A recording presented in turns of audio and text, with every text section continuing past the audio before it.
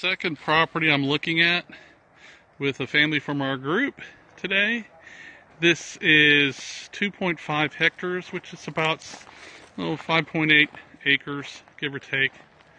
Uh, and it's right around $200,000, guessing, okay? Conversion in my brain.